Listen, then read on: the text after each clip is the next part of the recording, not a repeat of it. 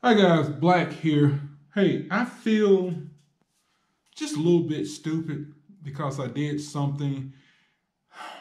I followed somebody else and it sort of kind of messed me up, but I'm going to make something good out of it. Okay, you've seen the video where my F-150 messed up on the way home. It kept saying it was running hot, even though I knew it wasn't running hot. Okay, I was getting a code a P1299.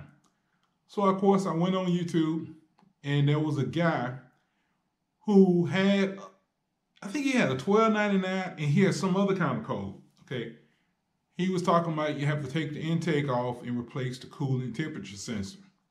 Okay, I did that. It did not help. Also, after doing that, I had a massive fuel leak, okay? So I took it all apart again, and I heard something about that there's a there may be a wiring problem.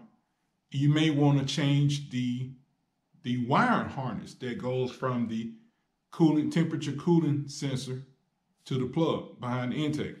Well, that wire is also made with the knock sensors, and you have to replace the whole assembly. All right, now, believe it or not, it's only about, well, one place it was 28 bucks. I went to another Ford place, it ended up being $48, but you know, whatever. I tried that, put everything back together. It was still saying the engine running hot. And I still had a fuel leak.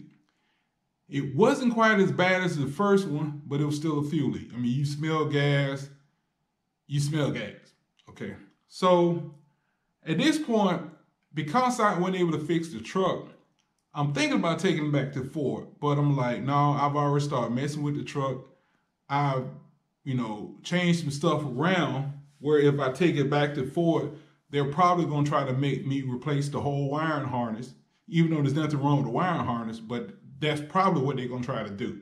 They may not, but that's what they probably want to do, replace the whole wiring harness. And I wasn't going to do that. So I decided, you know what?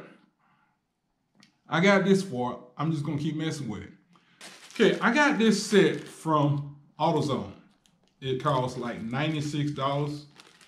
And you're gonna need two of them because you only come, it only has enough to fix four cylinders. You have to buy a second pack to get two more. Don't ask me why I don't come with six of these. Well, anyway, I'm gonna show you something. Now, this is a flat washer. How do you know it's kind of square? Okay, this is a flat washer. All right.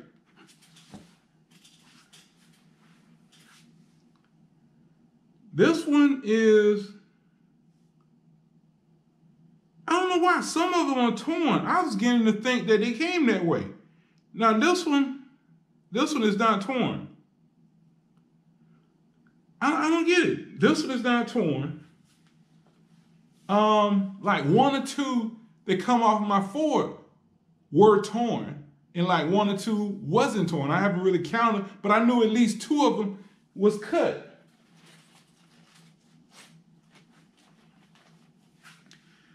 Okay, this is O-ring.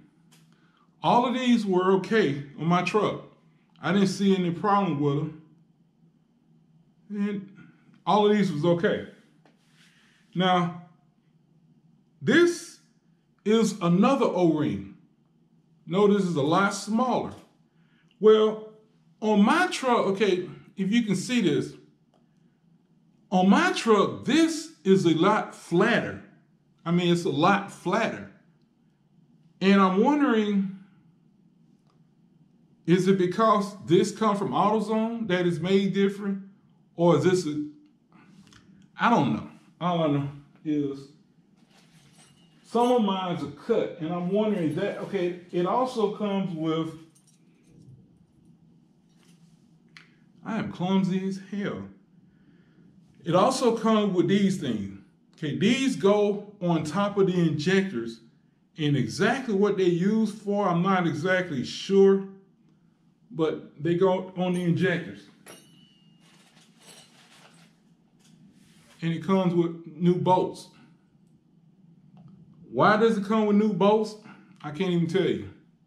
But I'm hoping that if I install this kit onto my truck, it'll stop that massive fuel leak. I hope so, because I bought two of them. Bought two of these for almost 200 bucks, probably 200 bucks with tax. So if this work, I'll let you guys know. I hope it will. And if not, will I take it to the Ford place? Probably not. Probably not. At least I figured out the damn sensor. I'm glad I figured that out. Did I tell you? Well, I, I said in another video what the problem was. Uh, I changed the wrong sensor. But you know. Anywho, this is Dre. I just thought I'd make a video, let y'all know the kind of screw up I made. Y'all have a good day.